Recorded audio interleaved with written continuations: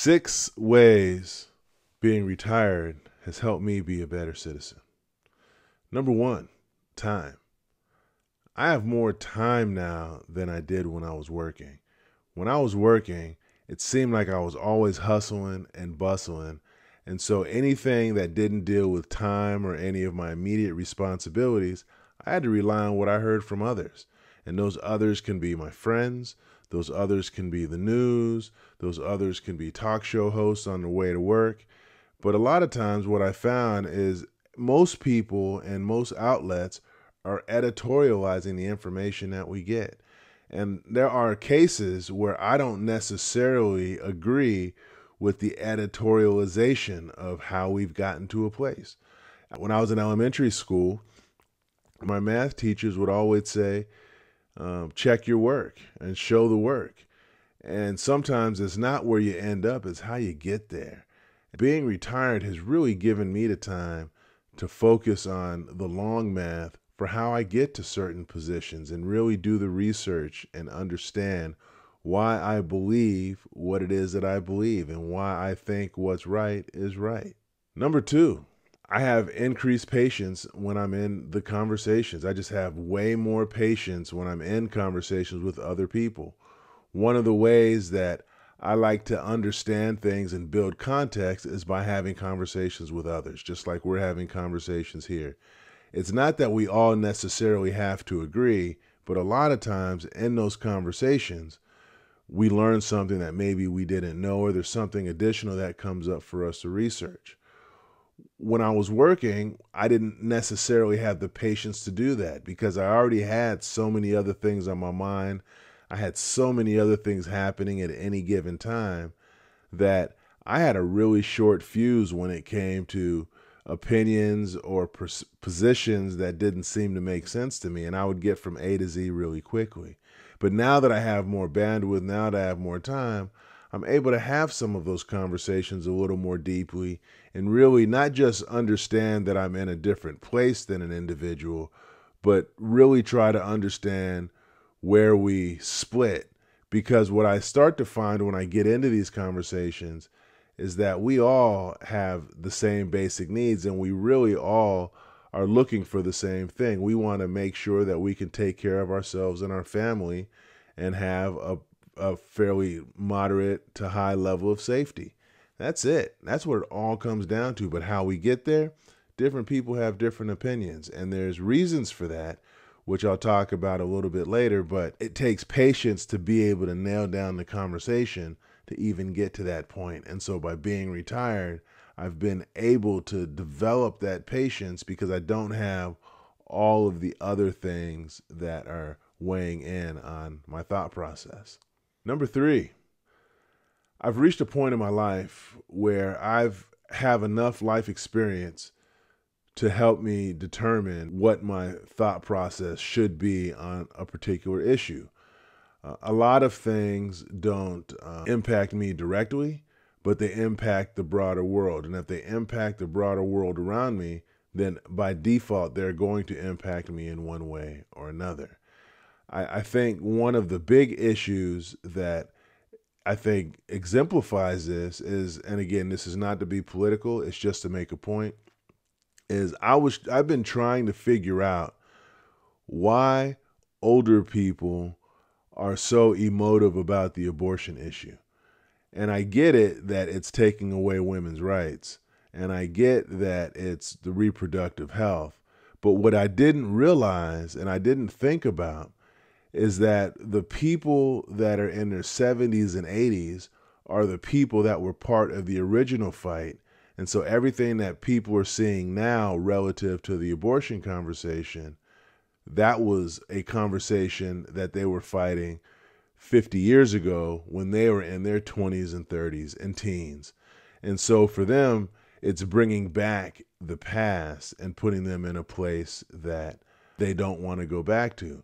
And I bring that up because what that shows is that it's hard sometimes to understand how a person's life experience is going to intervene in a decision or be impacted by an issue. So instead of trying to diminish other people's thoughts, we should try to understand how their life experience might intervene because what that does is helps us understand who that individual is and where they're coming from.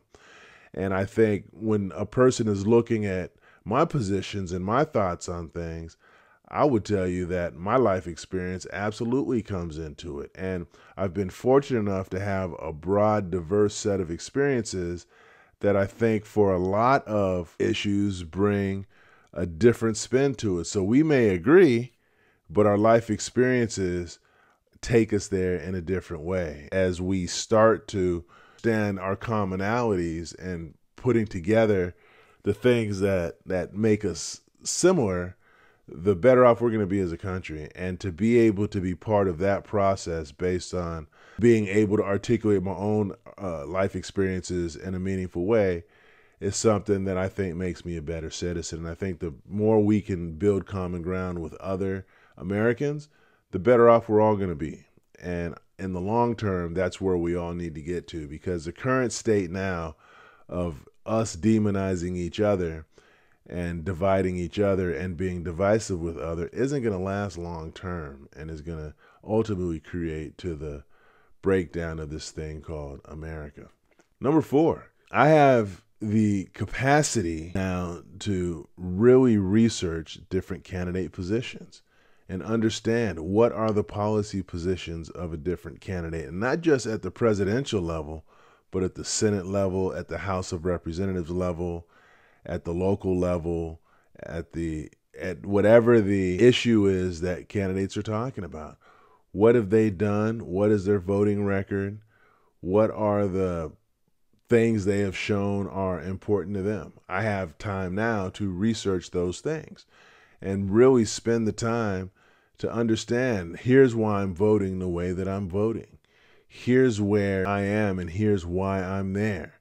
And I don't think it's fair of any of us to have or expect a candidate to have perfect positions on everything as it relates to us because the geographies that any politician are going to be responsible for are broad and they take in a broad electorate. Even down to city council, where you're dealing with some municipalities that have millions of people in them. And so the more that a person's underlying values or the reasons they get to a place sometimes are going to be more important than the actual policy position themselves. And so, with this additional capacity, I've had the opportunity to really do some research and understand the underpinnings and what really makes a person tick as it relates to their political positions. And I don't think I would have had the time to do that when I was working because there's a lot of information. Um, I was just looking at a sample ballot and I saw some of the legislation and the laws themselves are incredibly detailed and they're they're hard to understand and they're not really made for a layperson. And even with what's in the sample ballot there, there's other pieces.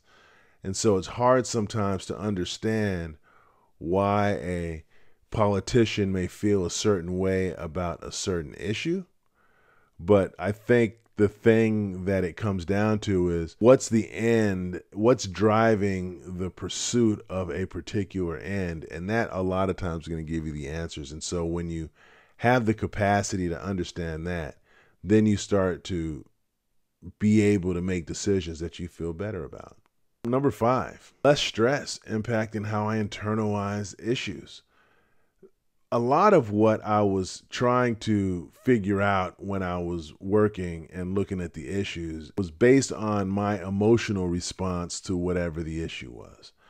I would get frustrated, but I don't know that I would be frustrated as much with the issue as opposed to what's going on in my life at that moment. I would be focused on here is what's happening to me right now. Here's what I'm focusing on right now. Here's how I feel about it. And if you catch me on any given day, I may feel differently about this thing because my emotions were there.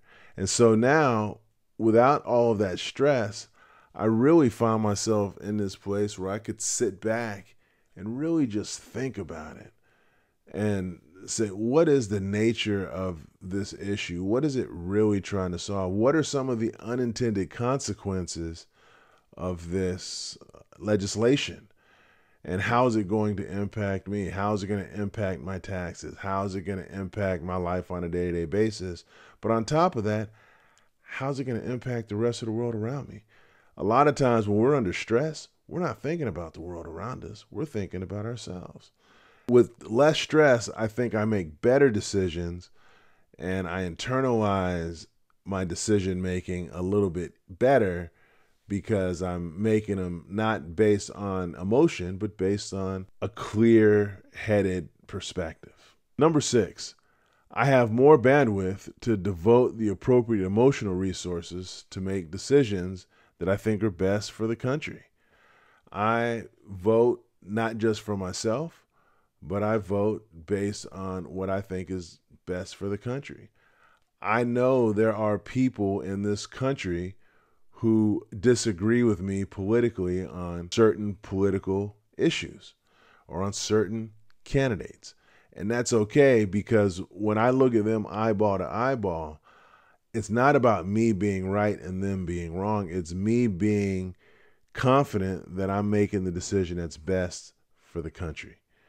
And I think that is more difficult when you have a lot of things on your mind and you don't have the emotional resources because once you get angry then you're you get emotionally hijacked and you're angry and you just don't like it and I'm able to not do that. When you look at a lot of issues, a lot of issues folks on both sides of the aisle will agree that there needs to be a solution. But the challenge sometimes becomes that people will dig their heels in on a political basis on what their solution is and not want to switch. And so the con- the relative constituencies then dig their heels in and draw impressions and judgments about the other way that a person wants to get to the same issue. So then by the time it comes up for a vote or when legislation is being written, it's not even about what the legislation is about it's about the fact that I'm right and you're wrong. And so in that type of situation, you're never going to solve problems. But and that's because when you get caught into the when you don't have the emotional resources to to really deal or the bandwidth to deal with it, you're looking for the quick solution. The quick solution is always going to be a lot more black and white. And I think the more that we can step back, take a breather, or as I like to say, sleep on it and talk about the issues, the better off we're going to be as a country. And I believe I've been able to do that as a uh, as I've moved through this era of retirement. So, uh, but I do want to share with you one conversation that I had that I thought was pretty interesting because I know that some of you out there are going to be looking at this thinking, this person leans this way, this person leans that way. It's but this has nothing to do with partisan politics. I had a conversation about a week ago with somebody who has the same political leanings that I do. But it was interesting because as I was talking to him, I realized that he didn't really have a handle on why he was voting the way that he's voting. And so as I talked to him, I started to explain to him here's what this person's positions are, here's how these positions were founded, here's where here are the values, the underlying values that are taking the person down this path, so on, so forth, and etc. And so what that does is that empowers him not just to say I'm going to vote this way because I think it's right because I've always voted this way, but it empowers him with the information to really be able to stand up and defend his positions because the thing I get concerned about is that people will make a decision based on something artificial like a political party or their historical preference. And then when they're pushed on it, they'll switch. And there's nothing wrong with changing positions, but I think there's something wrong when you don't have the information to make a decision that you can stand behind because things of this magnitude are too important for us to do that.